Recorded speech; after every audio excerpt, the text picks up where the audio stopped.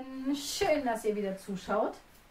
Ich habe vor kurzem ja ein Video über meine fünf Lieblingsfilme und fünf Lieblingsbücher gedreht und dachte mir irgendwie so, dass Kinder ja auch Lieblingsfilme haben und Emil hat auch Lieblingsfilme und Fernsehen und Kinder ist ja sowieso immer so ein Thema.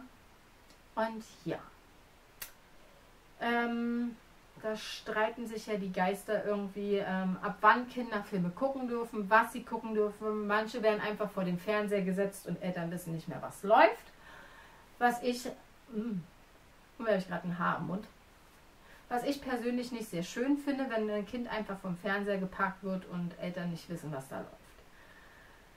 Ähm, auch die Sache, ab wann ein Kind Fernsehen gucken darf. Klar ähm, sind das viele, viele bunte Bilder, die kleine Kinder vielleicht nicht ganz so schnell verarbeiten können. Ähm, Emil durfte so das erste Mal richtig Fernsehen mit mir gucken. Da war er knapp über ein Jahr. Jetzt kriege ich bestimmt schon die ersten Daumen runter, aber wir haben damit zusammen Heidi geschaut. Es tut mir leid. Ähm, und ja, das kam vielleicht einmal in der Woche vor. Und irgendwie lief auch manchmal der Fernseher, weil ich bin alleinerziehend. Manchmal braucht man außer Babygeprabbel auch irgendwas anderes im Hintergrund sei es Musik oder doch auch mal den Fernseher. Emil hat nicht wirklich hingeschaut in der ersten Zeit, aber seitdem er so zwei ist, zweieinhalb, guckt er richtig Fernsehen. Ich muss dazu sagen, in Berlin hat er deutlich mehr Fernsehen geguckt als jetzt hier. Ich glaube, jetzt schon seit zwei Monaten haben wir nicht mehr wirklich Fernsehen zusammen geschaut oder eher alleine, weil wir einfach mehr Aktivitäten machen. Wir sind viel draußen aber ich finde es auch nicht schlimm, wenn Emil mal einen Film schaut. Mir ist es nur wichtig, dass ich weiß, was er schaut. Und ich finde, da sind wir Eltern gefragt, was wir unseren Kindern zeigen. Und ich habe mal fünf Filme rausgesucht. Oh, die habe ich jetzt so weit weggepackt. So. Wo ich einfach mal sagen möchte, die möchte ich empfehlen. Die kann ich, finde ich, ruhigen Gewissens empfehlen, weil sie einfach schön sind. Weil ähm, manchmal, ich finde ja schon schlimm, wenn diese Sachen mit 3D kommen. Zwar ist ja auch so eine Sache bei, die jetzt leider schon auf diese 3D-Optik gemacht ist, aber warum verschandelt man Heidi? Warum verschandelt man mittlerweile Biene Maya? Ich finde, ähm, auch unsere Kinder können noch Zeichentrick kennenlernen und müssen nicht mit dieser Computeranimation zurechtkommen. Und ja, ich fange jetzt einfach mal an und sage ein bisschen was zu dem Film. Und ähm, das sind halt die Sachen, die ich Emil rügen Gewissens wirklich gucken lasse und weiß, ähm, dass ich da nichts äh, Falsches zeige. Und zwar fange ich ganz einfach mal an. Er guckt ganz oft Benjamin Blümchen.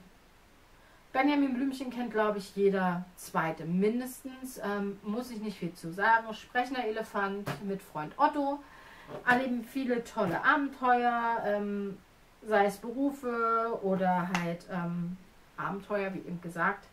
Emil liebt diesen hier besonders, weil Benjamin der Lokomotivführer ist. Emil liebt Eisenbahn und daher ist das so sein Lieblingsfilm.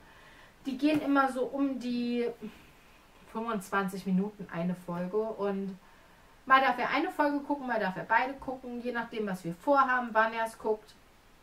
Ähm, Ob es das Wochenende ist oder in der Woche. Und ja, das ohne Probleme lasse ich ihn das gucken, weil es ist nichts Schlimmes bei und Benjamin Blümchen ist meine Kindheit schon gewesen und daher darf er das jetzt auch.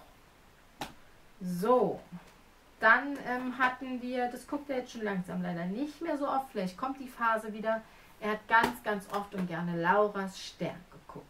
Laura ist ein ganz normales Mädchen, die manchmal halt Probleme und Sorgen und Ängste hat. Und in, am Abend sieht sie immer ihren Stern. Und der gibt ihr durch besondere Zeichen oder so immer Tipps oder steht ihr bei. Und das ist ganz, ganz niedlich. Ähm, sie hat noch einen Bruder, der heißt Tommy. Der spielt auch immer mit. Der hat seinen Beschütz mich Hund. Sehr, sehr süße Filme. Ähm, sind meistens so 10 Minuten lang ein Film. Wunder, wunderschön. Ähm, dicker Daumen nach oben. Und ich finde... Das sind somit die ersten Filme, die man Kinder gucken lassen kann. Dann ähm, habe ich hier meine Freundin Conny. Ich mit, bin mit den Pixie-Büchern davon groß geworden. Ich weiß nicht, wer Pixie-Bücher kennt. Das sind so kleine Heftchen, die habe ich oft früher von meinen Eltern bekommen, wenn wir verreist sind. Da durfte ich mir mal ein, zwei für die Bahnfahrt aussuchen. Und da habe ich auch immer Conny-Bücher mir ausgesucht. Und Conny ist eigentlich. Conny lernt backen, Conny lernt schwimmen. Also es sind so diese wirklich alltäglichen Dinge, die unsere Kinder auch im Alltag lernen. Und das finde ich irgendwie total cool. Ich habe mir als Kind immer gewünscht, mal ein Conny-Buch als Film zu sehen und jetzt praktisch, wo Emil auf der Welt ist, gibt es das. Ähm, hat viele, viele Jahre gedauert, aber irgendwie sind das schöne Filme und Emil mag sie gerne. Sie gehen auch immer so um die 12, 13 Minuten jede Folge. Und ja, wie gesagt, alltägliche Situationen, die Conny erlebt. Hier ist jetzt zum Beispiel drauf Conny und der Osterhase, Conny backt Pizza, Conny hat Geburtstag und Conny spielt Fußball. Finde ich überhaupt nichts Schlimmes bei. Aber ist halt 3D, was ich wiederum von der Zeichnung her nicht so schön finde. Ansonsten Geschichten top. Dann haben wir, habe ich mal durch Zufall irgendwie diese DVD gekauft und ähm, sie ist seit dem ersten Tag bis heute der Renner bei Emil. Und zwar ist das Franklins Weihnachts, äh, zauberhafte Weihnachten. Franklin ist eine Schildkröte und ja, geht darum, dass sie zu den Großeltern fahren. Die Oma erzählt eine Weihnachts, ähm, dass es mal eine Glocke gab und dass denn da ein Rentier kam und ja, Franklin findet die Glocke, läutet die und das Rentier kommt wirklich und sie erleben halt da so ein bisschen was, weil der Opa sich noch das Bein verletzt und irgendwie ist es wirklich so, so schön und es ist wirklich ein schöner Weihnachtsfilm.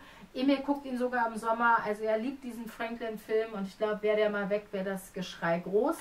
Er geht ca. 55, äh, 45 Minuten und ich glaube, den werden wir demnächst wieder gucken. Jetzt so in der Herbst-Weihnachtszeit wird er wieder viel laufen.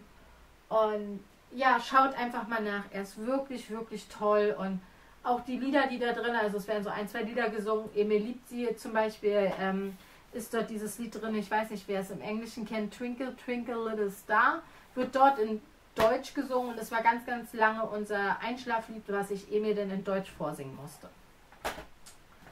Und zuletzt möchte ich euch ähm, Leo Lausemaus vorstellen. Leo Lausemaus ähm, liebt Emil auch sehr. Wir haben angefangen, Leo Lausemaus Bücher damals zu kaufen und ähm, die fand Emil schon toll. Dann kamen Hörspiele dazu und jetzt gibt es sie halt auch als Film. Und klar durfte das dann irgendwie nicht fehlen. Emil wollte dann auch mal einen Film davon sehen. Da hatte ich sie gekauft. Sie läuft drauf und runter und Leo Lausemaus ist, ähm, ich kann es einfach mal vorlesen. Leo Lausemaus ist vier Jahre alt und geht in den Kindergarten. Er lebt mit seiner Familie, Mama, Papa und seiner kleinen Schwester Lilly in einem kleinen Dorf mitten im Wald, das aus allerlei Sachen gebaut wurde, die die Menschen verloren oder weggeworfen haben. Jeder Tag ist ein kleines Abenteuer für Leo und seine Freunde, denn es gibt allerhand zu lernen, wenn man die Welt für sich entdeckt. Zum Beispiel, warum es bei den Erwachsenen eigentlich immer doofe Regeln geben muss, warum Schummeln sich am Ende doch nie lohnt und wie wichtig beste Freunde sind. Im Grunde geht es auch um alltägliche Sachen wie ähm, Regeln sind blöd, wie es hier angesprochen wurden, oder Leo Lausemaus möchte sich nicht waschen lassen. Also eigentlich auch so ganz alltägliche Sachen, die wir mit unseren Kindern erleben, erlebt ähm, diese Mäusefamilie mit Leo. Und ja, es ist ähm, ganz, ganz süß. Und Leo Lausemaus, ich glaube, das kennen bestimmt auch einige, ist somit jetzt ein totaler Muss. Ja, das sind so die fünf Filme, die ich wirklich sage, da ähm, habe ich keine Bedenken, wenn ich die mit Emil gucke oder er auch einmal alleine guckt, weil ich nebenbei dann den Haushalt mache. Entschuldigung. Und ja, daher ähm, ruhigen Gewissens lasse ich das dann laufen und er hat auch schon mal mit mir einen Walt Disney-Film geguckt, wobei ich bei Walt Disney oft finde, dass da ähm, so schön die Filme sind, mitunter einfach so viel Trauriges und manchmal auch ein bisschen Brutalität mit bei ist, dass ich manchmal denke, ah, die müssen wir doch noch nicht gucken, da kann er ruhig noch ein bisschen größer für werden. Und ja, daher lieber solche Filme, die kurz sind und wo er auch trotzdem Spaß dran hat, ein bisschen lehrreich sind, auch wenn ich ihm gerne ähm, die Welt erklären möchte und zeigen möchte. Und ja, das war dieses Video dazu. Ich hoffe, es hat euch gefallen. Es ist wieder mal was anderes gewesen, wie in letzter Zeit auch. Ich probiere mich wieder ein bisschen aus, ein bisschen was Neues mit reinzubringen. Lasst mir einen Daumen nach oben da. Ähm, schreibt mir in die Kommentare, ob euch sowas weiterhin interessiert. So sei es Bücher für Kinder, ähm, weiter, was ich so als Alleinerziehende ihr mir mit auf den Weg gebe. Ähm, Ansonsten in der Infobox wie immer Facebook und Instagram und meine E-Mail-Adresse. Und ansonsten sehen wir uns bald wieder. Bis dann, ihr Lieben. Tschüss!